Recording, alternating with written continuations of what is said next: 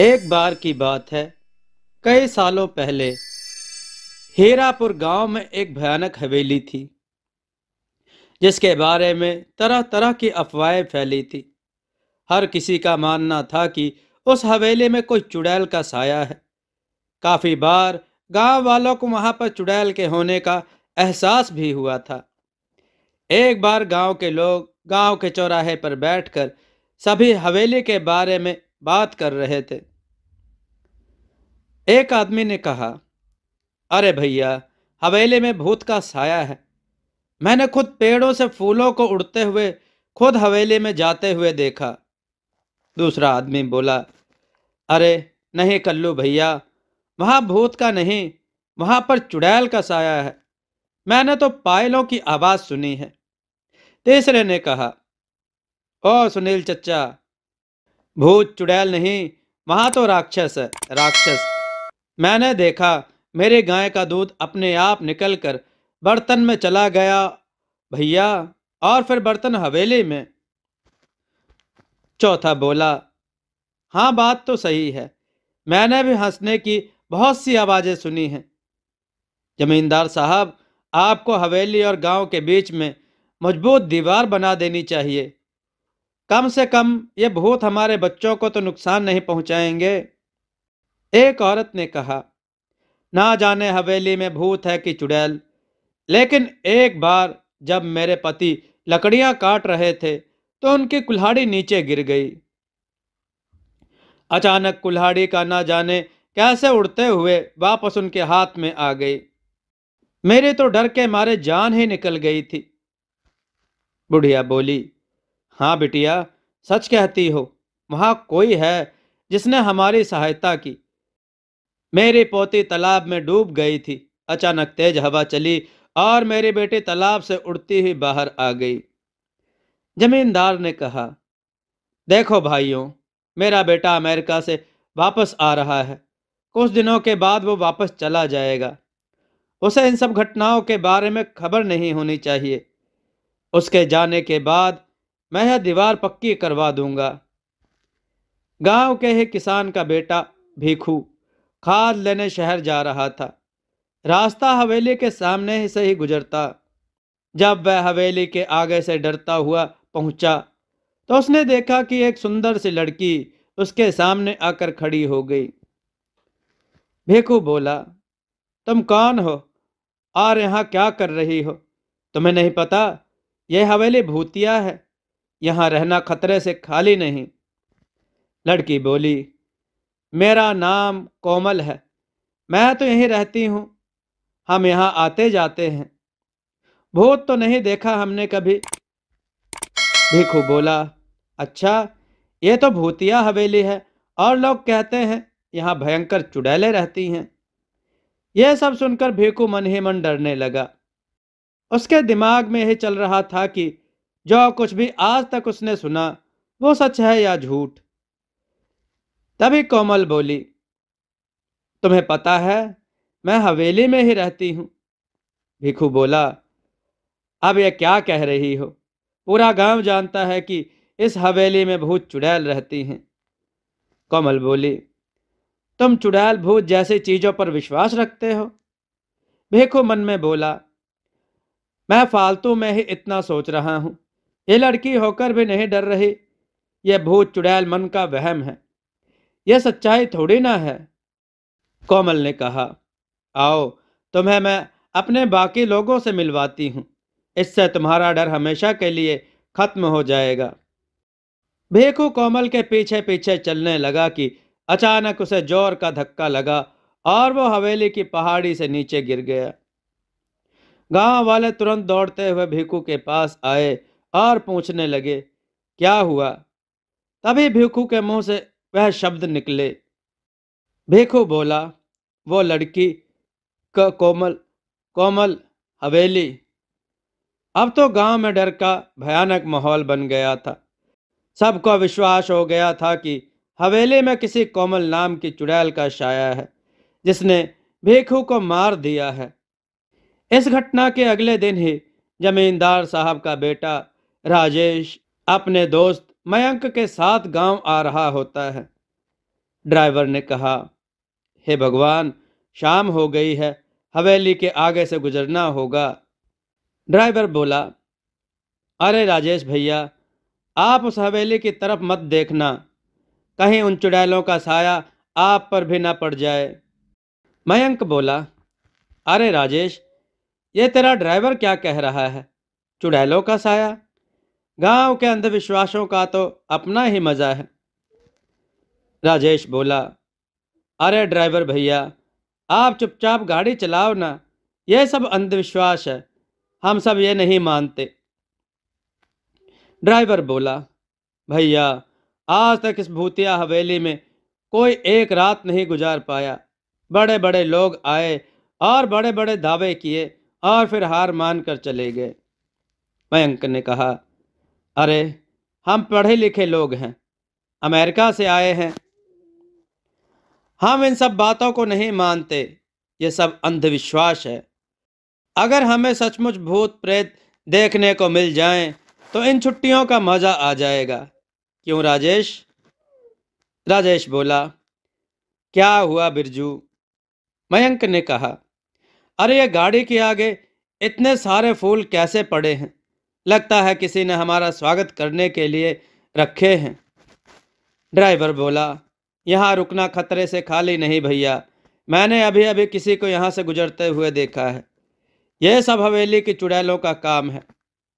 राजेश बोला, अरे, तुम गाँव वाले भी कमाल हो। खुद ही सब कुछ करके शर्मिंदा हो जाते हो। मैं सब जानता हूँ। गाँव वालों ने ये फूल बिछाए होंगे लेकिन अब अपना नाम बताना नहीं चाहते। ड्राइवर बोला, राजेश भैया, मैं झूठ नहीं बोल रहा। जब आप हवेली में एक रात बिता लेंगे तो आपकी सोच भी बदल जाएगी। मयंक ने कहा, यार बिरजू, तुम पहले घर पहुँच मयंक ने कहा, यार बिरजू, तुम पहले घर पहुँच जाओ, बाद में देखेंगे। अभी तो बहुत ज़ोर से भूख लगी है मेरे पेट में तो हाथी चूहे, भूत प्रेत सब दौड़ रहे हैं। कुछ ही देर में दोनों दोस्त घर पहुँच जाते हैं और आराम से सो जाते हैं। अगले दिन जब वह गाँव घूमने जाते हैं तो फिर गाँव वाले उन्हें हवेली के पास जाने से मना करते हैं। आखिरकार गाँव वालों की सोच को बदलने के लिए राजेश और मयंक उस हवेली में एक रात बिताने का फैसला करते हैं। जमींदार बोला यह मैं क्या सुन रहा हूँ राजेश? तुम हवेली में जाना चाहते हो। अरे, तुम्हारा दिमाग ठीक तो है? मैं तुम्हें कभी इसकी आज्ञा नहीं दूँगा। राजेश बोला, पिताजी, हम अमेरिका से पढ़कर आए हैं। हम ऐसे अंधविश्वासों को नहीं मानते। वैसे भी वो हवेली बहुत पुरानी है। हम उसे हेरिटेज होटल बनाना चाहते हैं। करोड़ों की प्रॉपर्टी है, मयंक बोला। अरे चाचा जी, हो सकता है इस हवेली में कुछ लोगों ने कब्जा करने के लिए इस तरह की अफवाह उड़वाई हो। हम हमेशा के लिए इन सब का समाधान कर देंगे। जमींदार बोला, ठीक है, अगर तुम लोग नहीं मानते तो जाओ, लेकिन अपने साथ दो गार्ड, बंदूक और सुरक्षा का सारा सामान साथ लेकर जाओ। गार्ड बोला, आप लोग सो जाइए, हम सब बाहर ही बैठे हुए हैं। और कोई भी बात हो तो तुरंत आवाज़ दे दीजिएगा। सोते समय मयंक ने कहा, राजेश, उठ यार, ये सब क्या हो रहा है? राजेश बोला, अबे अबे, ये पलंग हवा में कैसे उड़ रहा है? ये गाने की आवाज़ें भी आ रही हैं। ये खुशबू, ये तो कमल के फूल की खुशबू है, लेकिन इस पुरानी हवेली में कमल का फूल कहाँ से आया? इतनी मीठी आवाज़ तो सिर्फ़ परियों की हो सकती है, भूत और राक्षस की नहीं।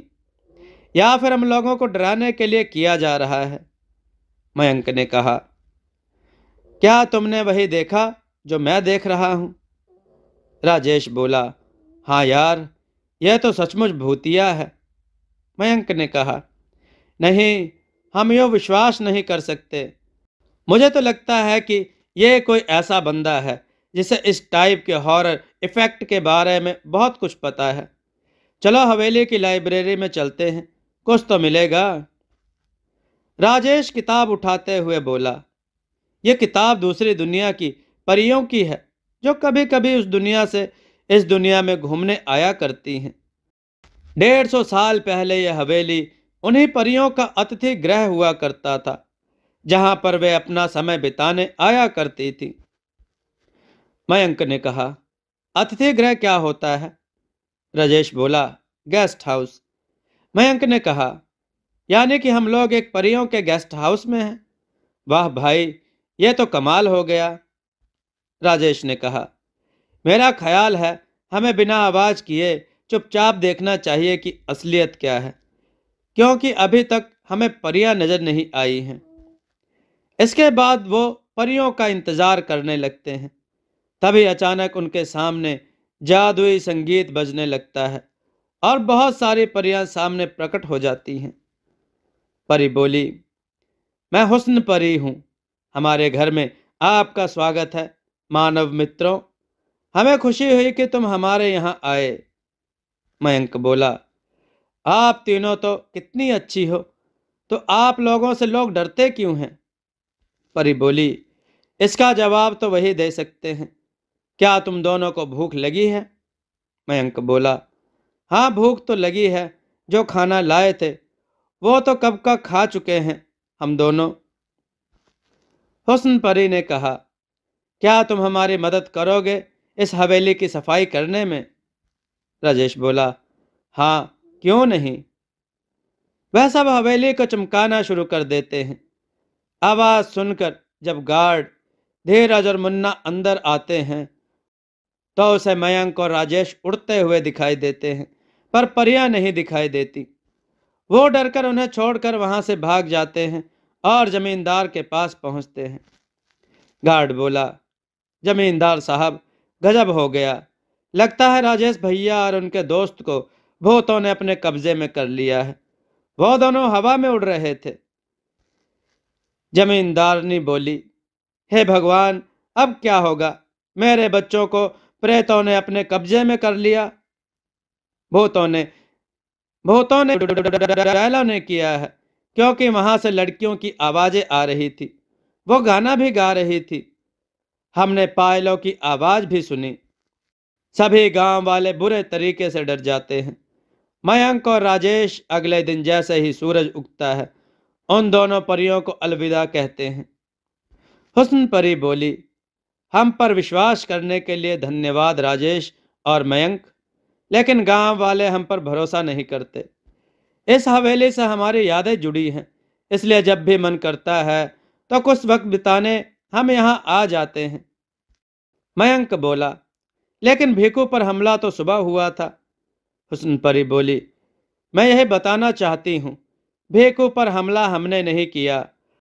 हम तो सिर्फ़ गाँव वालों को शहर से भागकर आए हुए तस्करों से बचाने की कोशिश कर रहे थे।